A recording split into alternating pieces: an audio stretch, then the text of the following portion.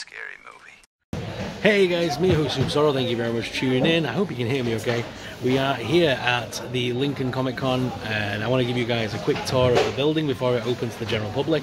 It'll be opening very soon, so come down and check us out at Lincoln Comic Con.